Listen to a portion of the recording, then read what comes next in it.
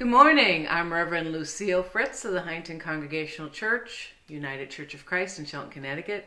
No matter who you are, no matter where you are on life's journey, you are more than welcome into our faith community. Uh, just a couple of announcements. We are in the midst of our generosity season.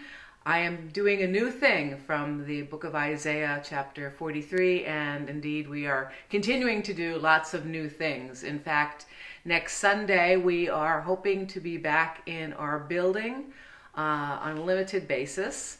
Uh, we will be doing social distancing, wearing masks. Also, anyone who wishes to attend the service will need to register, uh, make reservations to make sure you do have a seat since, since we are limiting uh, the amount of people in the sanctuary. So if you're interested in joining us on 9.30 in person in the building, uh, you can register Make a reservation at hcc at snet.net. That's hcc at snet.net. And uh, we will see that you do have a seat. Um, we will still be live streaming, so no problem.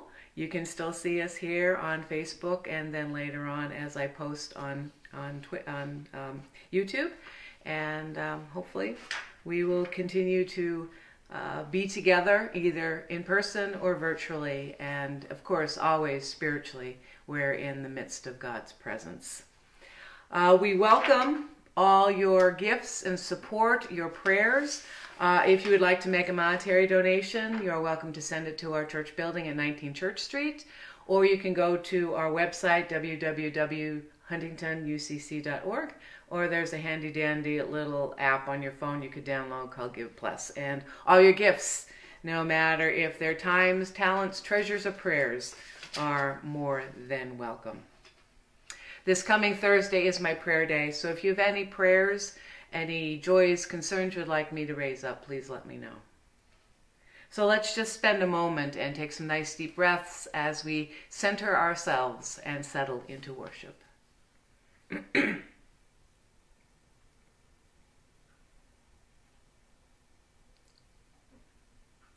Breathe in the love of God and breathe out hate.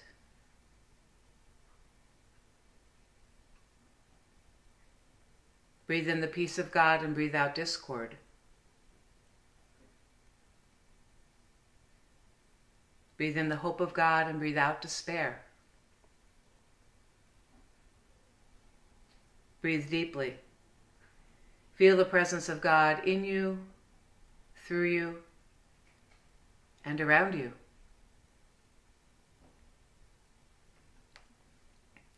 Praise God. Let us sing to God a new song and offer praise together. Let us be glad in our Creator and rejoice. Let us praise God's name with dancing and melody. For God takes delight in us, God's beloved. Praise God.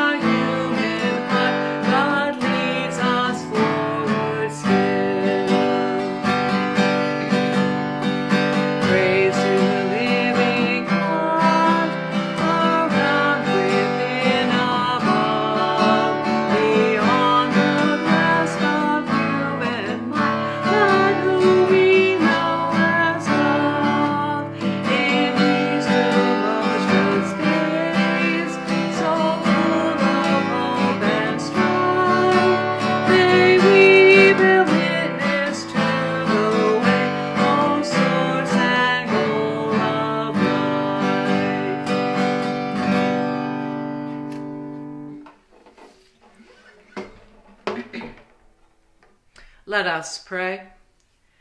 O God of all, we offer our prayers and praise to you, trusting you hear us and are with us. Inspire us with this time that we may continue to trust in your ever presence. Fill our hearts with love that we may be your image in this world. Gather us in your power and fill us with your spirit. We pray this in Jesus' name. Amen. I'm going to jump ahead a little bit in our service and go right to the church at prayer. We offer up prayers for all those who have lost loved ones, especially Fanny's family, and all those who have died from COVID and other diseases, other tragedies, other illnesses, other accidents. Let us come to God in prayer.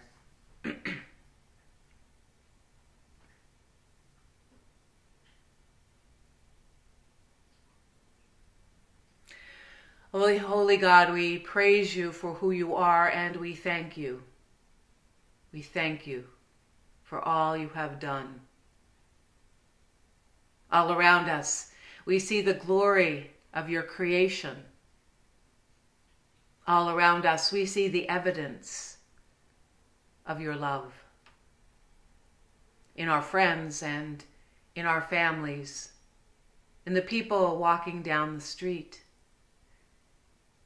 in the soft breezes, in the warm sunshine, in the gentle rain. You are there. And we thank you. We thank you for the many ways you nurture us from our very beginnings. You have been there, urging us to show forth your image in this world and giving us the gifts to do so. And we thank you. We thank you that you are always in us and through us and around us, that you carry us when we are weak, and you rejoice with us when we are strong. But we do come to you, gracious God. We come to you with the concerns of our hearts, the prayers of our lips, and the prayers of our souls. We come to you with the things that we need, and we lift up to you the people, the people we know and people who we don't know, who are in need of your care and your healing. We especially think of those who've lost loved ones. For Fanny's family, and for people all around who are mourning, whether it is still very fresh or whether it is years past. And we pray for those who are in need of your healing power, gracious God, for Danny and Patty and Robin and all those who are in need of your touch, be it in body, be it in mind, be it in spirit. And for a world, O oh God, that is filled with so much hate and prejudice and bigotry, so much greed and malice. We pray for your peace. We pray for your justice. We especially pray for your love. Your love which can heal all things. So may you, O God, instill in us your divine love. Help us to be there and show it to the world in our own actions of generosity, in our own commitment to justice, in our own making of peace. Help us show forth your love and your life. We pray this all in Jesus' name. Amen.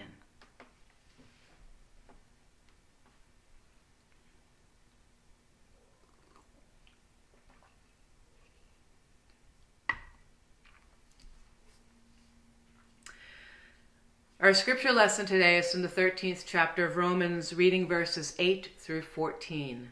Listen for the Word of God. Owe no one anything except to love one another. For the one who loves another has fulfilled the law. The commandments you shall not commit adultery, you shall not murder, you shall not steal, you shall not covet, and any other commandment are summed up in this word love your neighbor as yourself. Love does no wrong to a neighbor, and therefore love is the fulfilling of the law. Besides this, you know what time it is, how it is now the moment for you to wake from sleep. For salvation is nearer to us now than when we became believers. The night is far gone, the day is near. Let us then lay aside the works of darkness and put on the armor of light. Let us live honorably as in the day, not reveling and drunkenness not in debauchery and licentiousness, not in quarreling and jealousy. Instead, put on Lord Christ, Jesus Christ, and make no provision for the flesh to gratify its desires. May God a blessing to the hearing and the reading of these holy words. Let us pray. Gracious God, may the words of my mouth and the meditation of all of our hearts be acceptable in your sight O God, our rock and our Redeemer. Amen. We're continuing to look at the passages in Paul's letters to the Romans. And one thing about Paul's letters, his epistles, it was about what was going on in the churches to whom he was writing. What was going on? What situations did those churches find themselves? What were the people doing? And you get hints at the things that Paul is saying. And oftentimes it's about things that they're kind of going off the rails about. There may be a lot of bickering. There may be a lot of immorality. There may be allowed a lot of people trying to take power. There may be a lot of jealousy. All the things that we find ourselves falling into as humans. And Paul addresses them. And today, he reminds them about the greatest commandment love your neighbor as yourself. We've heard this time and time again, not just from Paul, but also from Jesus Christ. And Jesus Christ, when he said, Love your God, love your neighbor as yourself, he was quoting the law, the Hebrew scriptures, all the commandments all the law, all the prophets was culminated in love your neighbor.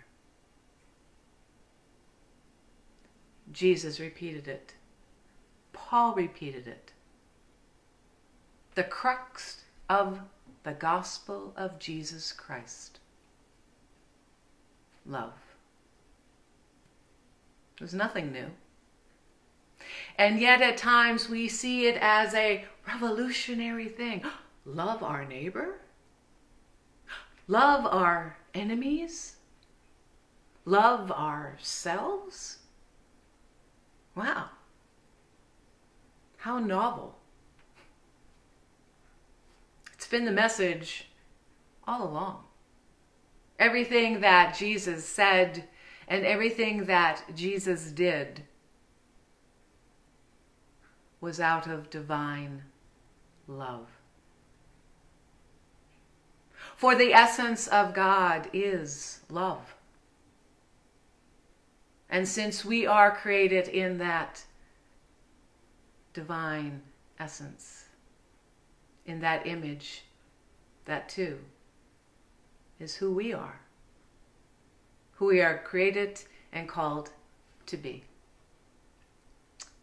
And we're not always good at it.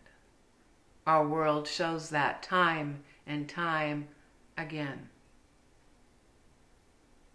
We fall into debauchery. We fall into licentiousness. We fall into quarreling and jealousy.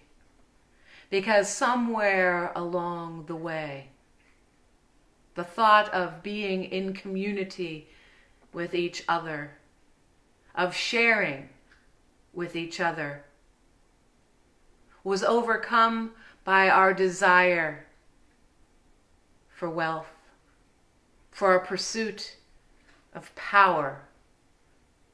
And even if we are not rich, or even if we not powerful, we find ways to try to find our power, oftentimes causing pain and suffering in our wake. When we are rude, when we are hostile, when we do not treat one another as brothers and sisters, as siblings in God. We try to find ways to divide us that we can feel better about ourselves. Oh, look at them over there. Thank goodness I am not like them. We remember the Pharisees saying that. But Jesus calls us to something different. Jesus did not come into this world to make us more wealthy or more powerful in a temporal sense. Jesus came into this world to make us rich in spirit and wealthy in love. That is truly what is important spirit and love. And everything he did was permeated by that spirit and that love. Even going to the cross, making that sacrifice, showing what love of neighbor truly was. Giving. Giving. Giving. Opening our hearts in acceptance, opening our minds to listen and to understand, opening our hands to give what we can give to make someone's life a little better, to make this world a little better. That's what the cross was about. Christ died that we may have life, that we may know the extent God would reach out to us to share love and to share life and to share eternity. And that is the gospel. That is the message that was in the Hebrew scriptures. That was the message that is in our New Testament. It all boils down to God's love for each one of us and our love for God and for one another. To strive to make this world a better place. To be here not just for our own sake, but to work for the sake of all that is which we are all created and called to do. And we that remember that, we remember in the way Jesus gave of himself, of the way he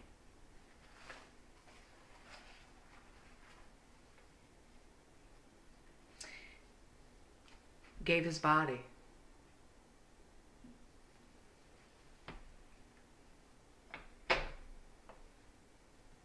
in the way he shed his blood.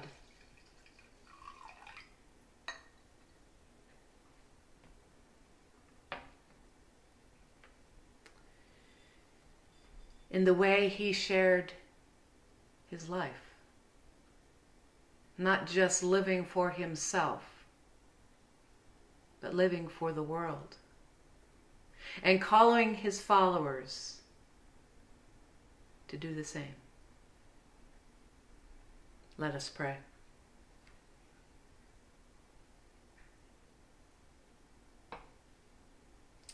O holy God, from the beginning, you created this world in love and for love. And your love was so great that you gave us freedom and free will to make our own choices, to experience the wholeness of existence.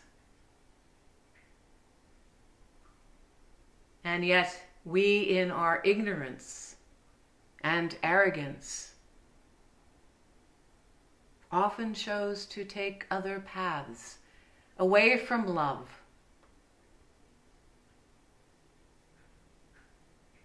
We reveled in greed. We built dividing walls between us. We oppressed and imprisoned our brothers and sisters, our siblings, for our own wants and our own needs and our own desires. And yet you still called us back, coming to us in Jesus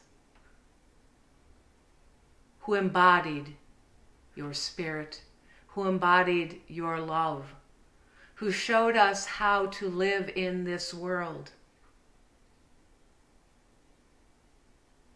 who showed us how to love neighbor, how to love you, and how to love ourselves.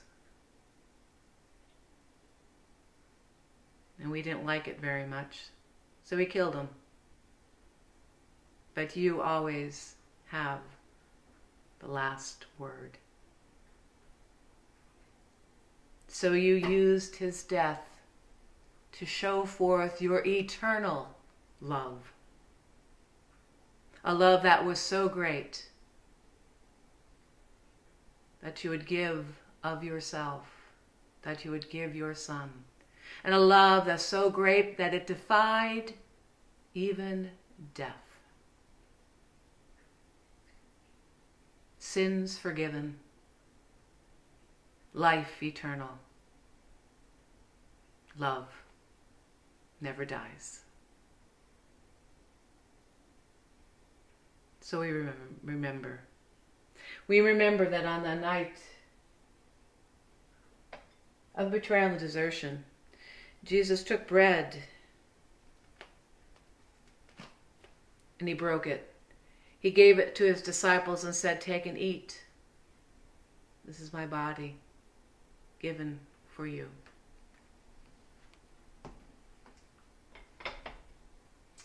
And after supper, he took the cup, and after giving thanks again, he gave it to the disciples and said, Take and drink. This cup is a new covenant in my blood, poured out for you for the forgiveness of sin. As often as you take this cup and eat this bread, you will remember me.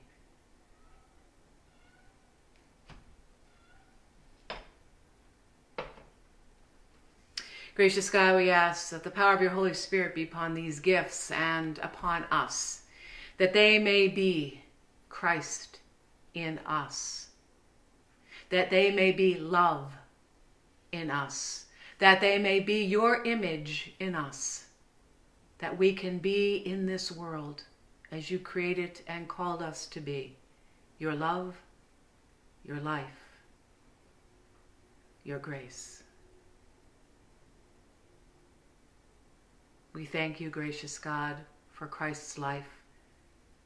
We thank you that he came and that he will come again. And we await it with joy. And may you hear us as we pray the prayer that Jesus taught us. Our Father, who art in heaven, hallowed be thy name. Thy kingdom come, thy will be done, on earth as it is in heaven. Give us this day our daily bread, and forgive us our trespasses as we forgive those who trespass against us. And lead us not into temptation, but deliver us from evil. For thine is the kingdom, and the power, and the glory forever. Amen.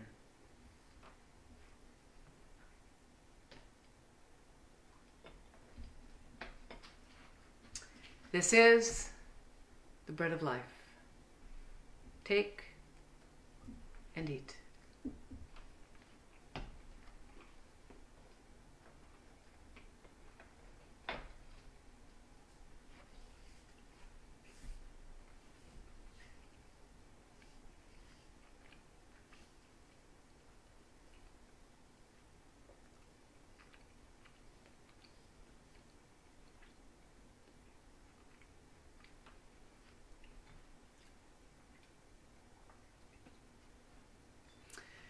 This is a cup of blessing.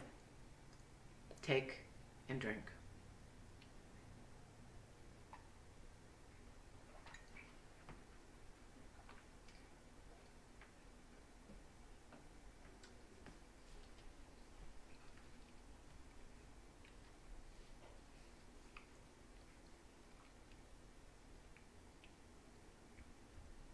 Let us pray. O God, once again you have fed with the food of heaven. We thank you for the reminder of Christ's everlasting love and presence as we share the bread and the cup. May we be filled with the power of your Holy Spirit, that as we leave this place, our lives would show forth your light and love to our neighbors, our communities, and our world. In Jesus' name we pray. Amen. Love, love, love, love. Christians, this is your call. Love your neighbor as yourself, for God loves us all. Love, love, love, love. Christians, this is your call. Love your neighbor as yourself, for God loves us all. Love, love, love, love. Christians, this is your call. Love your neighbor as yourself, for God loves us all.